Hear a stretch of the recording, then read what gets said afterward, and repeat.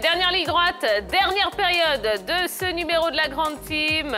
Merci d'être aussi nombreux hein, à être avec nous du lundi au vendredi de 20h30 à 22h. Et je vous rappelle qu'on est disponible sur le canal 203, StarTime 740, la TNT numéro 3 ou encore sur l'application RTI Mobile. Ce soir, nous sommes en compagnie, nous avons vraiment, euh, nous prenons beaucoup de plaisir, oui, à recevoir euh, cet invité, l'ancien international ivoirien euh, François Léon Tata, qui est là, qu'on va applaudir très très fort. Ah ouais. Merci. Très belle carrière. Merci, merci. Carrière, une belle expérience euh, et vraiment il nous gratifie de, de sa présence hein, ce soir sur le plateau de la Grande Team. Euh, merci, merci d'être avec nous hein, François. Et, euh, eh ben, on accueille encore Ballot et, et, et, et, Yves Boris dit les bretelles ce soir. voilà. Allez, on va avancer hein, dans le programme puisqu'on a encore pas mal de choses à se raconter. Euh, on va, ouais, on va faire un petit tour euh, en Europe. Ouais, puisqu'on va parler de la reprise de la Ligue 1, du, débit, du derby pardon, de Manchester euh, pour une place en finale de la League Cup, du choc Milan AC Juventus. Eh bien, on fait le point de la soirée foot hein, euh, de ce mercredi en Europe, n'est-ce pas, mon ballot? Oui, en commençant par la Ligue 1, 18e journée. hein. C'est une Ligue 1 avec l'arrivée de Raymond Domenech sur le banc du FC Nantes, mais également de Mauricio Pochettino qui faisait sa première sur euh, euh, le banc du Paris Saint-Germain. Déjà, Brest a battu Nice 2 buts à 0. Monaco s'est imposé largement face à Lorient 5 buts à 2. 0-0 entre Metz et Bordeaux. 0-0 également entre Nantes et Rennes. Strasbourg a largement écrasé Nîmes 5 buts à 0. Et il y a encore des matchs en cours. Lille euh, donc, est mené 2 buts à 1 face au SCO d'Angers. Lyon 3-1 mène face à Lens. Marseille, un but partout entre Marseille et Montpellier. Le stade de Reims et Dijon coupe la part en 2, 0-0. Et Saint-Etienne et Paris Saint-Germain, un but partout. Eh bien, ces matchs euh, sont en cours, il faut le préciser. Mais en tout cas, déjà, euh, Paris Saint-Germain accroché pour une première de, de Mauricio Pochettino, cours, même si en le match cours. n'est pas encore terminé. oui. Attendez, en cours. Non, là, je parle au nom de tous les supporters hein, du Paris Saint-Germain. Bah oui, euh, attendez. Ne vendons pas la peau de l'ours. Bien sûr. Attention, Avant de l'avoir, zigouillé. Voilà. Alors, euh, ce qui nous emmène euh, forcément donc à la deuxième question. hein, et là, on attend vos appels au 21 59 93 99. Est-ce que Lyon va rester leader jusqu'à la fin de la saison? Et je vais vous poser les mêmes questions. Vous allez utiliser les petites ardoises là qui sont devant vous. François, vous allez utiliser la petite ardoise. Vous écrivez oui ou non. Donc, est-ce que Lyon va rester leader jusqu'à la fin de la saison selon vous? Oui ou non? Et vous aussi à la maison, euh, j'attends vos appels. Allez, on y va. Alors, j'ai. Alors, j'ai du oui pour, euh, pour vous, hein, Yves Boris, et tout le monde dit non. Les trois autres disent non. Alors, on commence avec vous, François. Pourquoi non? Vous ne Euh, croyez pas euh, Pourquoi non? Parce que Lyon, pour ma part, n'a pas les armes pour, se maintenir à ce niveau-là. Parce que c'est une équipe qui a des résultats en dents de scie. Aujourd'hui, ils gagnent, demain, ils perdent, et ainsi de suite. Donc, pour moi, je ne suis pas sûr qu'ils peuvent rester leader jusqu'à la fin. Voilà, voilà ce que j'ai dire. Henri Jo.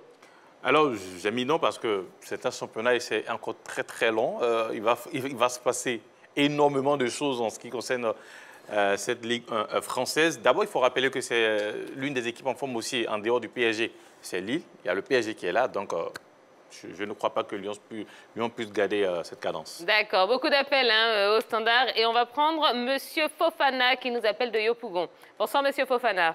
Bonsoir, Pierre. Comment allez-vous? Dieu merci, ça va et chez vous? Ça va super bien, merci beaucoup. Je vous en prie. Alors, euh, Lyon va-t-il rester leader jusqu'à la fin de la saison? Oui, euh, permettez-moi avant d'arriver à cette question de saluer Léon Tata. Ah, Nous, les anciens, on a eu la chance de le voir jouer. Ouais.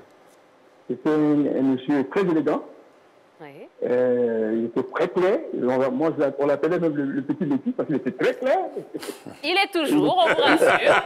On il- vous était, très, il était très élégant balle au pied. Bon, c'est vrai, un peu, un peu, un peu nonchalant, mais il était très, très élégant balle au pied. On a eu l'occasion de le voir jouer, donc je voudrais vraiment le saluer. Et dire que ça avait beaucoup de plaisir que je le revois là. Et salut à toi. Vraiment, merci pour ta reconnaissance. Puis, Parlez voilà. normalement, hein, François. il vous entend très bien, vous inquiétez oui. pas. Mhm. Donc, euh, je disais merci, hein, merci pour cette reconnaissance.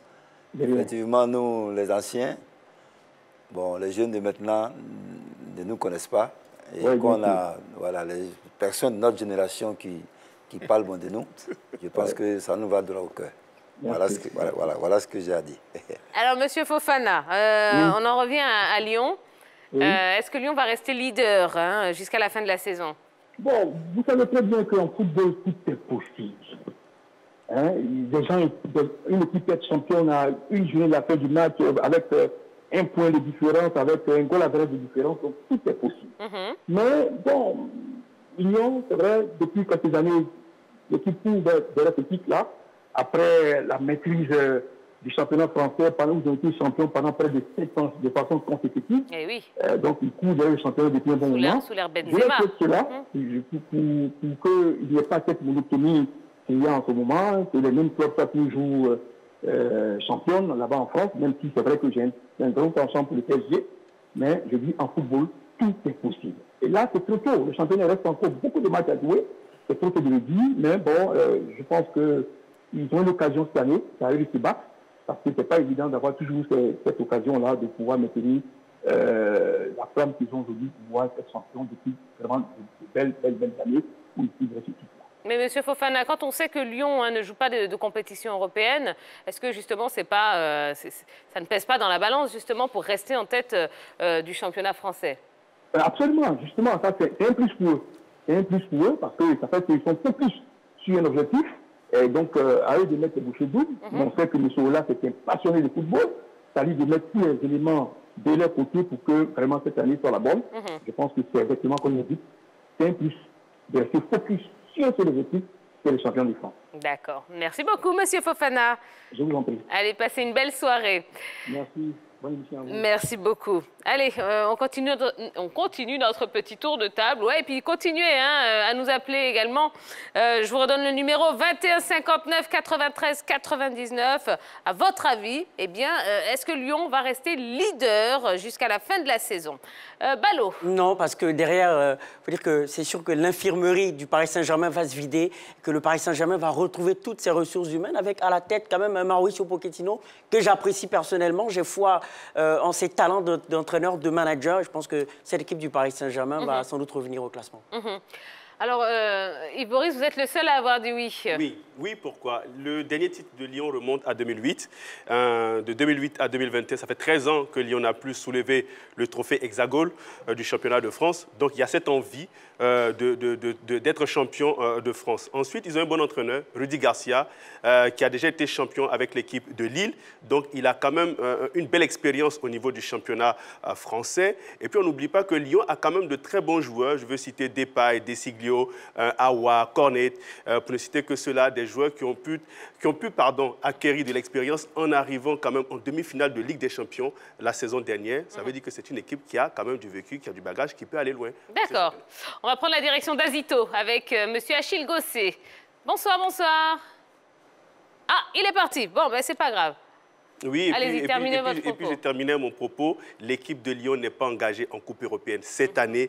Donc, elle va jeter toutes ses forces dans la bataille pour le championnat euh, français. Donc, c'est clair que les équipes engagées en Coupe européenne, à un moment donné, vont lever le pied pour se concentrer sur la Coupe d'Europe. Je pense par exemple à l'équipe du Paris Saint-Germain. Et donc, Lyon pourrait en profiter. C'est ça. Et puis, euh, connaissant euh, Monsieur Olas, c'est vrai qu'il aura quand même à cœur hein, de, de, remporter euh, au moins ce championnat, puisqu'ils ne sont engagés que, que dedans.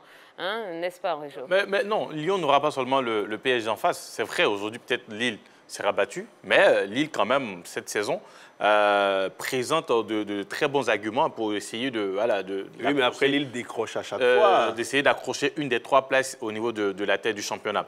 Mais au-delà de Lille, comme Ballot le disait aussi, le PSG, avec Mauricio Pochettino qui est arrivé, euh, forcément, euh, l'Argentin va chercher, parce qu'on est habitué depuis euh, près de 9 ans à avoir Paris Saint-Germain leader.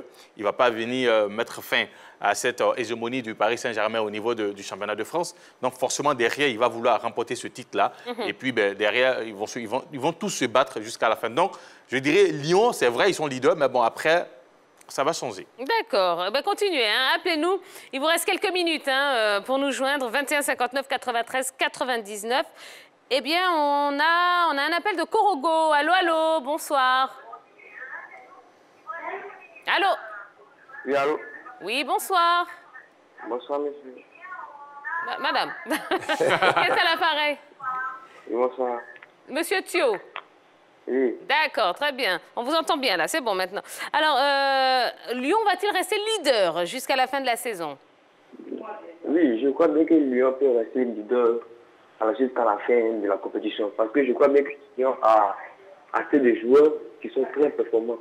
Et Tels en plus, que? ils sont arrivés. Oui, Tel que Quel joueur? Nous avons Cornet et bien, et bien d'autres. Mhm. Et aussi, ils sont arrivés en Ligue des Champions l'année passée. C'est pas, pas un coup, c'est pas, un- pas un clin d'œil qu'ils sont arrivés là-bas. Mhm. Ah, bon. ouais. D'accord, donc l'effectif lyonnais euh, est, est- est suffisamment, euh, est suffisamment costaud, hein, euh, selon, euh, selon Monsieur Thio, Thio, qui était avec nous. D'accord. On va, euh, on va passer donc à, la demi-finale de la League Cup entre Manchester United et Manchester City. Que s'est-il passé, Ballot Oui, euh, déjà, il faut dire qu'il y a une mau- mauvaise nouvelle déjà pour euh, les supporters, les Red Devils. Manchester City euh, a remporté ce match. hein. Il était en cours euh, lorsqu'on on revenait sur le plateau. 2 buts à 0 pour Manchester City avec euh, un coup franc euh, déjà magnifique, bien travaillé par Phil Foden. Le match est déjà terminé. Un coup franc bien travaillé par Phil Foden. Et bien derrière, c'est le grand John Stones, le défenseur de Manchester City, à la 50e minute, qui ouvre le score pour les Citizens. Et euh, à la 83e minute, c'est un corner de Kevin De Bruyne, repoussé par la défense de Manchester. Et derrière, Fernandino qui sonne une superbe frappe qui trompe euh, le gardien de Manchester United. Donc City s'est imposé euh, à Old Trafford face à Manchester United, 2 buts à 0. Il faut rappeler que euh, ce soir, Eric Bailly était sur le banc parce que déjà emménagé, il revient de blessure. Il a aligné cinq matchs, donc euh, son, entraîneur euh, l'a mis de côté pour, lui permettre quand même de reprendre parce que je dirais l'objectif de Manchester United, c'est vrai, il y, a, un trophée à prendre, mais l'objectif, c'est d'avoir une très bonne place au niveau du championnat. Donc ils vont se concentrer sur le championnat. N'oublions pas que City revient en forme. hein. City a commencé le championnat euh, un peu difficilement. Récemment, ils ont enchaîné de, très bonnes euh, performances, notamment euh, ce qui caractérise cette performance, c'est ce match gagné face à Chelsea. Euh, 3-1 euh, sur la pelouse de Chelsea. Donc c'est une équipe de City qui quand même qui retrouve euh, ses sensations. Ça, veut dire que euh, la course au niveau de- du titre va, va se jouer jusqu'à la fin. Et City, euh, pour cette finale, va rencontrer Tottenham qui s'est qui, qui s'est débarrassé de Brentford hier, euh, 2 à 0. Donc euh, la, la- la finale opposera Manchester City à, à Tottenham.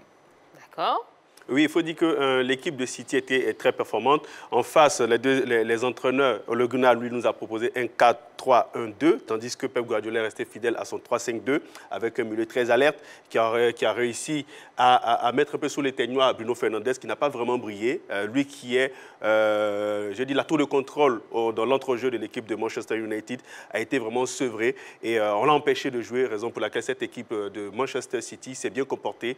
2 buts à 0, je crois que c'est logique, parce que l'équipe de City a vraiment tenu le ballon et a réussi à empêcher les joueurs de Manchester United euh, de dérouler leur football. Très bien. Et on va vous donner euh, les résultats de la 16e journée de Serie A. Et avec un choc, hein, ben oui, AC Milan, Juventus Turin. Bien sûr, c'était le gros choc euh, de cette 16e journée euh, de la Série avec l'absence quand même euh, du côté de Milan de Zlatan Ibrahimovic. Il faut dire que la Juventus de Il est Turin parti skier dans son domaine. euh, AR. AR, c'est ça.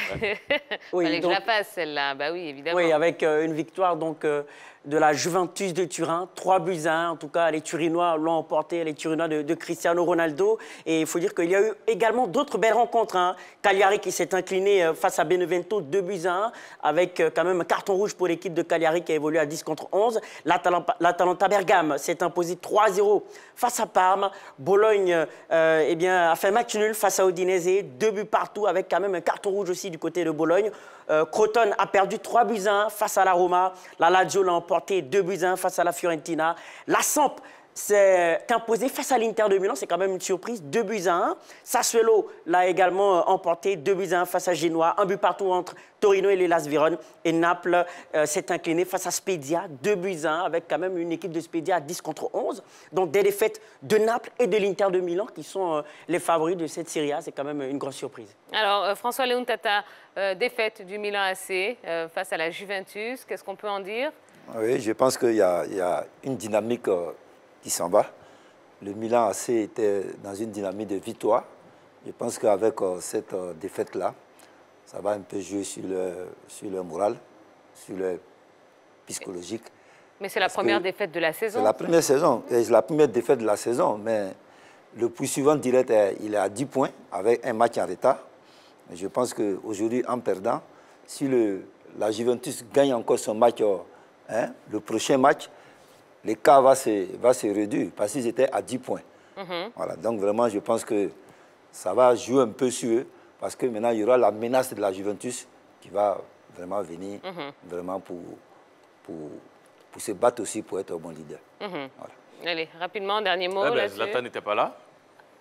Et Kessie n'a pas fait grand-chose dans cette, dans cette rencontre. Dommage Voilà. pour cette équipe. De... donc, euh, à la décharge Milan du, du Milan AC, Zlatan n'était pas là. Et Ronaldo n'a pas de- marqué. il était en train de... Voilà, skier. de l'autre côté. C'est important. Allez, voilà ce qu'on pouvait vous dire hein, donc concernant, euh, concernant ce qui s'est passé en Europe. Alors, il nous reste quelques minutes à peine à passer ensemble, mais euh, on tenait à avoir votre avis sur quelque chose, hein, François Léon Tata.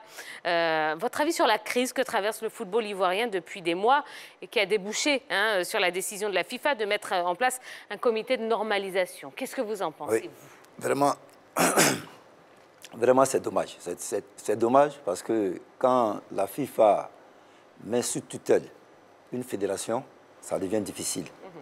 Donc vraiment, pour moi, c'est dommage. Je pense que notre souhait à tous, les footballeurs de Côte d'Ivoire, il faut qu'une issue rapide soit trouvée à cette euh, situation-là pour que le football vive. Parce qu'actuellement, avec déjà les difficultés que les présidents des clubs ont pour entretenir leur club, ça ne sera pas facile. Donc je pense que cette normalisation-là, il faut que ça se fasse vraiment de manière rapide pour que le football vive. Donc vraiment, pour moi, c'est dommage. C'est vraiment dommage ce qui nous arrive. On est tous d'accord Oui. On est tous euh, unanimes pour le dire. François Léon Tata, ça y est, c'est déjà la fin de ce numéro de la Grande Team. Oui, Euh, vraiment, au nom de toute l'équipe, un grand merci à vous d'être venu nous faire ce, ce petit coucou. oui. C'est ici euh, votre maison maintenant. Hein D'accord, vous revenez quand vous voulez. d'accord, D'accord d'accord, On a passé un très beau moment en votre compagnie. d'accord. Euh, merci également aux téléspectateurs. Merci d'être euh, aussi nombreux, aussi réactifs, nous envoyer autant de messages. Ça nous va droit au cœur. On va se reposer puisque la semaine, non, est loin d'être terminée. Il nous reste deux soirées à passer ensemble. Eh oui, donc vous savez que plus on avance dans le temps, plus on monte, hein, crescendo. Alors on va se reposer, on va reprendre des forces. On va se retrouver demain à la même heure, au même endroit, c'est-à-dire à 20h30 sur la 3 évidemment. Passez une excellente soirée.